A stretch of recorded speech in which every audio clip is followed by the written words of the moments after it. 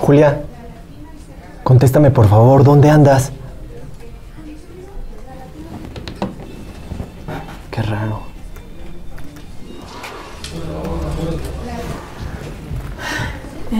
¿Qué pasó? Te estaba marcando.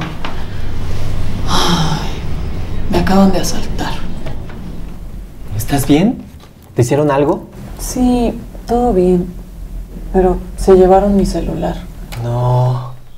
Tu información, tus fotos, tus datos, tus fuentes. ¿Qué vas a hacer ahora? Lo bueno es que estaba cifrado. Nada más, déjalo bloqueado. ¿Qué es eso? Son tus cosas de hackers, ¿verdad? No, ¿cómo hackers? Es algo básico para proteger tu información. A ver, explícame bien eso del cifrado. Mira. Cifrado. Son muchas operaciones matemáticas que revuelven la información para que no cualquiera pueda entenderla. Así de simple. Bueno, es un poco más complejo. Para que el cifrado sea útil, solo la persona que cifró puede restaurar la información a su estado original, así como autorizar a otras a componer la información y entenderla. Yo pensé que el cifrado era poner como un blindaje o una capa de protección a la información. No exactamente, porque finalmente la información que ha cifrado se puede ver, aunque no se entienda.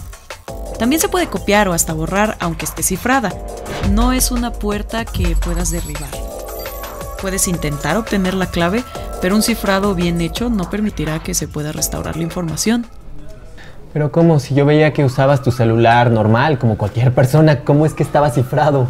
Significa que activé esa opción en la configuración de seguridad del celular. Entonces, aunque ya no lo tenga, quien me lo robó sin la contraseña no puede acceder a la información. Usaba mi teléfono normal porque lo único que tenía que hacer para descifrarlo era poner mi contraseña. Algo muy importante es que tú y solamente tú puedas recomponer esa información. Por eso tu contraseña debe ser buena. Porque si es fácil de adivinar, entonces sí podrán acceder a toda la información. Ay, no. Para mí no es eso de las contraseñas, ya tengo muchas.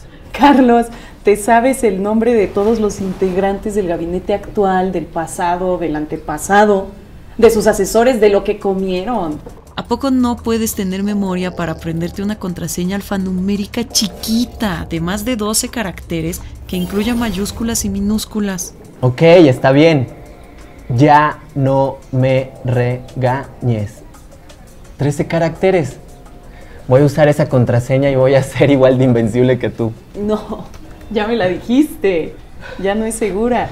Además, el cifrado no es algo mágico.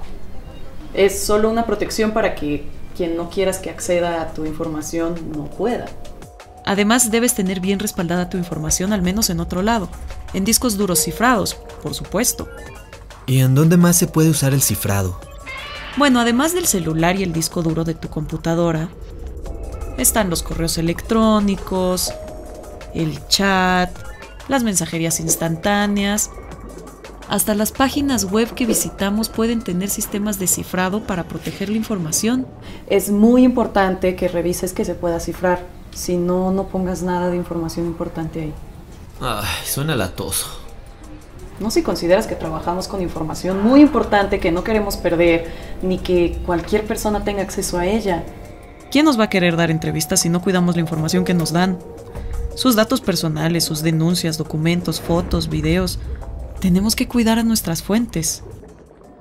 Bueno, hay mucho que cifrar.